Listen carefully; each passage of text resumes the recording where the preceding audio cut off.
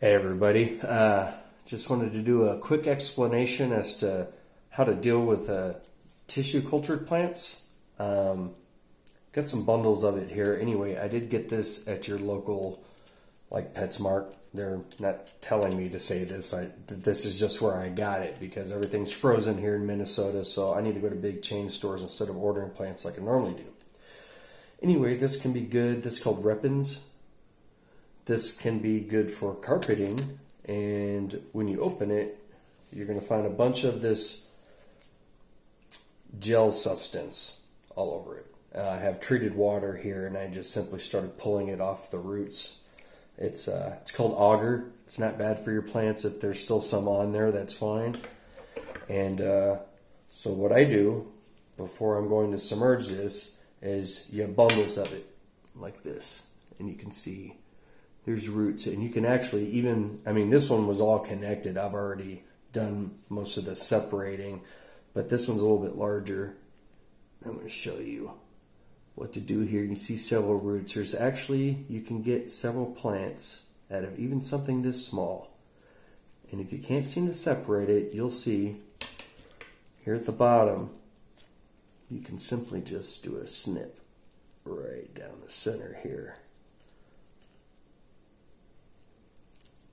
A lot of this is going to melt back anyway, but see how I just, I made one big bush and a two. Both have uh, roots at the bottom. And then I'll take my scissors here and just snip the tips of the roots. This is going to kind of help jumpstart it into its new environment because it's been growing in a gel for, you know, who knows how long whenever you're picking these out, make sure you look at them first and that there's a lot of healthy leaves and that the roots don't look like they're rotting because sometimes you can go there and it'll be that way. But almost every piece I found, and look, I got dozens. You know, this was a $10 plant. It'll grow about maybe five centimeters tall. So good carpeting plant. Here's a good piece right here.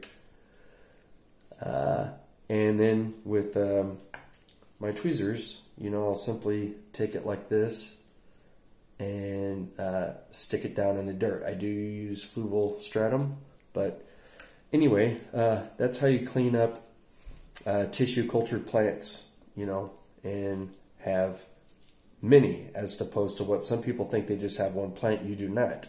You can cut these apart, any of these packages that, and they come in a, you know, plastic like this is going to have a bunch of agar in it and one long plant that goes all the way across. And you're going to think, oh, I'll just pull the whole thing out and just plant it like that. No.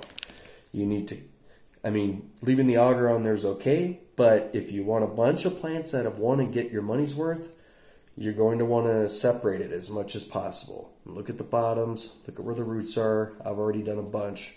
You know, there's some that are slightly larger, and then, you know, like one tiny solo dude like this that I'll plant and will do just fine. Some of it will melt back, some of it won't. Or you can just plant it and trim all the tips. Anyway, again, uh, I just kind of wanted to show everyone the cleanup process and, you know, just have a cup of treated water, which I put some conditioner in there. It sat for most of the day and I cleaned the roots off in there and everything has been treated as delicately and you know sterilized with clean, fresh, dechlorinated water.